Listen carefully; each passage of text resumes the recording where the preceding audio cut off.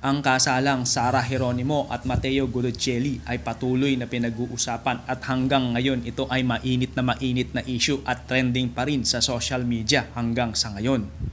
Ang simple sana at sikretong wedding ng dalawa ay biglaang sumabog at nagbigay ng isang matinding kontrobersya sa mundo ng showbiz. Nitong kamakailan lamang ay ikinasal si Sara at Mateo sa isang hotel sa Taguig noong February 20, 2020. Ang mundo ng showbiz at ang social media ay hanggang ngayon patuloy na tumututok kay Sara at Mateo. Maging ang media noon ay di man lang natunugan ang kasalang ito.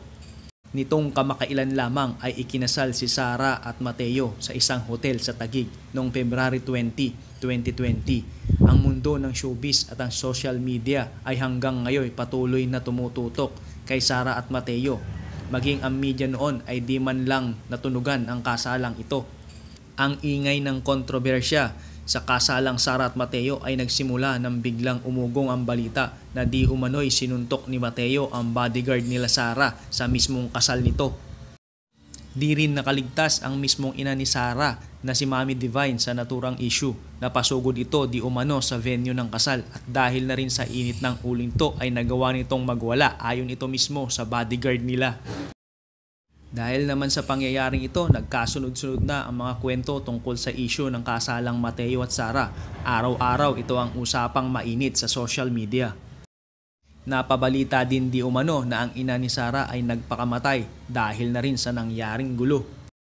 Kasunod naman nito ay ang pagtungo ng bodyguard ni Sara kay Idol Rapi Tulpo upang ilahad lahat ng pangyayari at upang humingi na rin di umano ng tulong na makasuhan ng aktor sa ginawa nitong panununtok sa kanya. Samot-saring opinyon din ng mga tao, kabilang na ang mga mabibigat na pangalan sa showbiz ngayon ang lumulutang tungkol sa isyo ng kasalang Sara at Mateo. Ano ang nangyari? Bakit ito ay umabot sa kontrobersya na yumanig sa social media?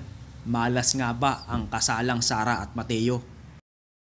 Matatandaan din natin na ang panganay na kapatid ni Mateo ay kakakasal din lamang at si Sara ang naging bridesmaid nito Nangyari ito nito lamang December 2019. Sukob nga ba ang kasal ni Mateo at ang kapatid nito at ito ang nagdala ng malas sa kasalan nila?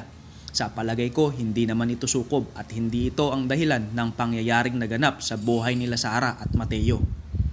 Ang isyong ito ay hindi aabot sa ganitong usapan kung ang bawat isa ay nagbibigayan lamang. Si Sara ay nasang wasdong edad na at ang nais nito ay lumagay sa tahimik na lamang sana intindihin na lang ito ni Mami Divine